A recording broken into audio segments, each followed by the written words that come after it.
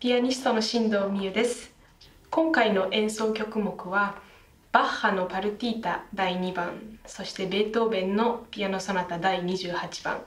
えー、後期のソナタの一つと言われるものなんですけれども。でそして休憩を挟みましてショパンのバラード第2番とショパンの24のプレリュード全曲を演奏いたします。まずプログラムの全体を見た時にとても構成がすごく構成だったりバランスがとっても美しいんじゃないかとで第1部第2部ともに、えー、どちらもあのとっても魅力的な曲をこうギュッと濃縮したような感じになっておりましてあの聴いてくださる方もとっても楽しんでいただけるんじゃないかなと思っております。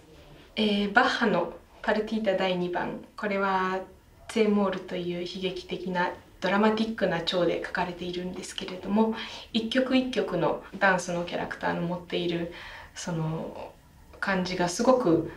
あの、まあ、小さくなっていてその商品がこうギュッとあの重ねられているすごく聴きやすい楽しんでいただける曲になっているのかなと思います。ベートーベンの第28番も、まあ、分数的には30分も超えないものかなというふうに思うんですけれども、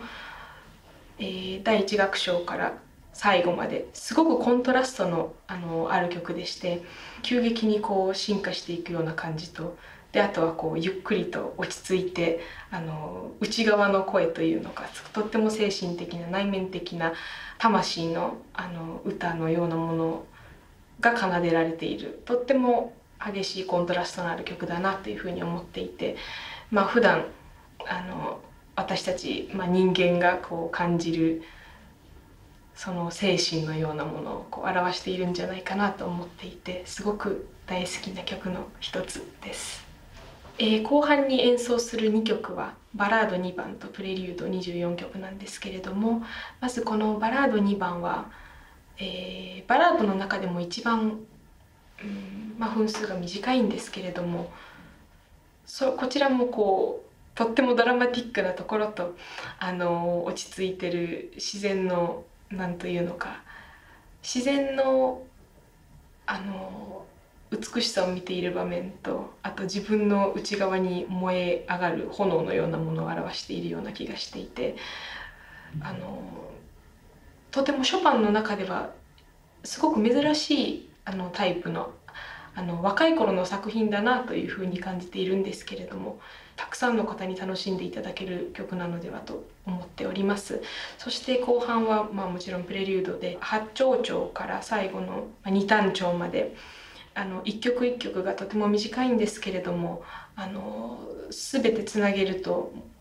壮大な一曲というのか大きな絵のキャンバスをこう外側から遠くのところからあの見ているこうそういう楽しみ方もしていただけますし一曲一曲のあのとっても細かなディテール何か何かもあの楽しんでいただけるでそしてそのゼードアからあの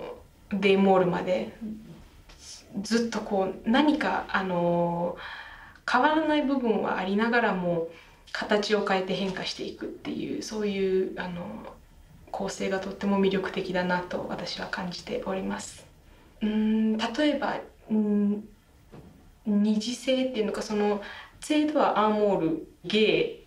っていうかその蝶で蝶々単調蝶々単調蝶々単調っていうのが、まあ、ずっとこうセットになっていくんですけれどもこの2つの2曲の対比っていうのがずっとこう続けられていく。でそれかなおかつ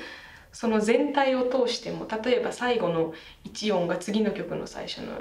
あの最初の音につながってたりだとか何かこう果てることのない曲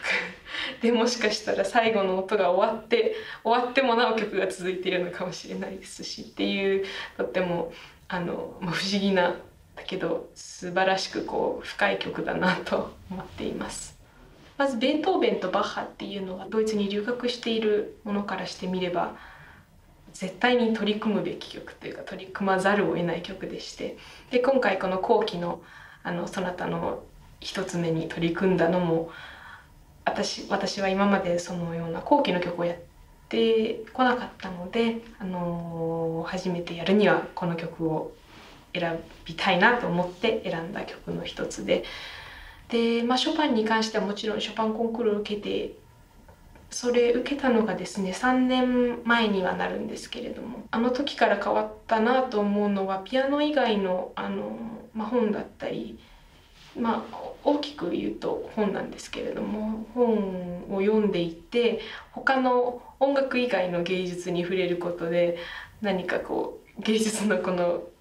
核を見るというかまだそのその突き詰めたところまではもちろんいけてはいないんですけれどもそういう違う文学分野に目を向けることであもしかしたらショパンの表現してることってこういうことだったのかなって思ったりとかあの直接的でなくとも何か間接的にそういう理解に深まっているような気がしていて3年前からはあの成長できたのではないかなと、まあ、成長していなければいけないのかなというふうに思っています。まず私の高校生活が、まあ、モスクワでありまして先生からあの学んだ大きなことといたしましてはどこをどういうふうにしたらこういう音が鳴るのかっていうその音を出すためにはどういうふうにしなければならないっていうことをとても強く学びました。でそのおかげで私が音色の幅っていうものがとても、ま増えたようには思います。で大学生活今はドイツであの大学生として過ごしているんですけれども大学生活であの学んだ大きなこととしてはそこからそれを使ってどういう音楽を作りたいのかっていうもっと根本的なことについてあのあの今学んでいる最中だなと思っています。ドイツにはたくさんの国籍のさまざまな国からの留学生がいてでその子たちと一緒に日々勉強しているわけででその子たちの表現の仕方だったりとかあと考え方だったりっていうものに、まあ、日々感銘を受けながら過ごしております。バルディ先生自身は、えー、イスラエルでお生まれになって法律家を目指していった大学で法律をあの勉強されていたんですけれどもピアノピアニストになって。私は多分バルディ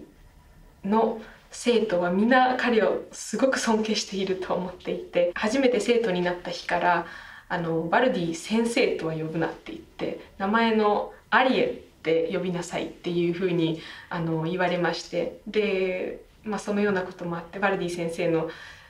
人間力もあってとってもクラスがあの何かあの皆ライバルなんですけれどもあの一つでこう先生を囲むような時もあったりしてすごくあの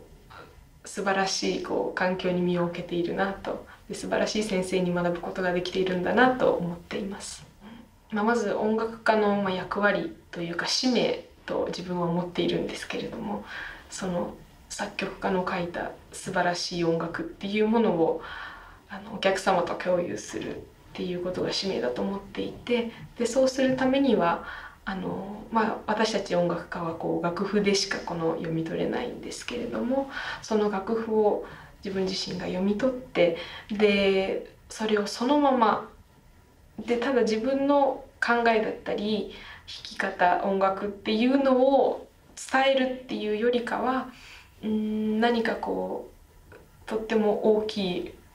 あの大きな自由なものをこう提示するというかでそれをお客様が自由に解釈していただける。なのであの何通りもの何百通りもの解釈があって皆様それぞれのこのあの何というのか受け取り方になればいいのかなというふうに思っています。10月5日、えー、名古屋の電気文化会館にて私の大好きな曲を集めたコンサートをいたします。あの初めての曲ばかりですのでたくさんの方にお聴きいただけたら嬉しく思いますお待ちしております